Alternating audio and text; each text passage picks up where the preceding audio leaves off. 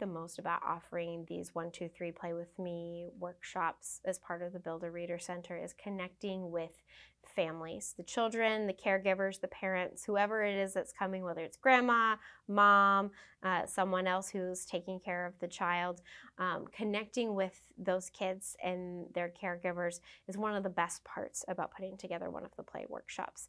And then from there, you are con- not only am, are, am I connecting as a librarian with these families, I'm able to connect those families with other resources that they might not even know they're looking for.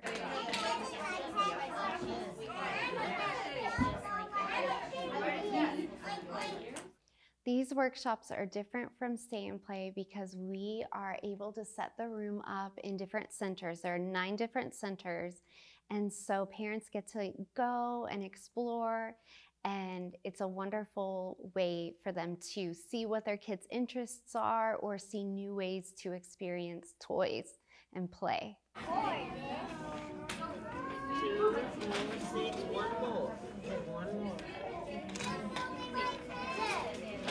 The other difference between Stay and Play and the Build a Reader Play workshop is that we invite these specialists from our community partners.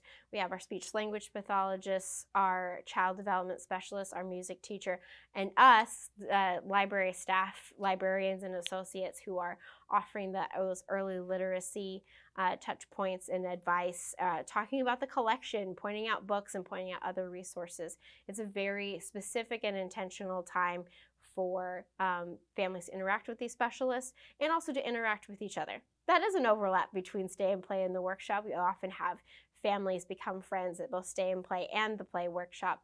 Um, but this uh, play workshop is specifically an intentional time for families to learn from outside resources as well as the library.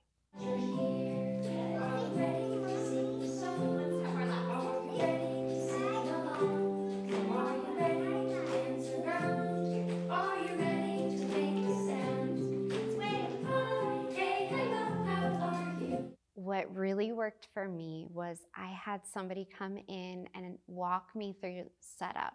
So we set up the room, we made it look how they had always done it, and having that help really helped me feel confident and comfortable as I prepared for the program. It was my first experience, so hearing from somebody who had already done it was a great way for me to feel comfortable setting up. This is such a wonderful program. Out of all of the programs that we offer, I get so much feedback on this program. Caregivers love coming. I have people who show up for every single one. It's such a wonderful program, and I'm really glad that we can offer it here. Side.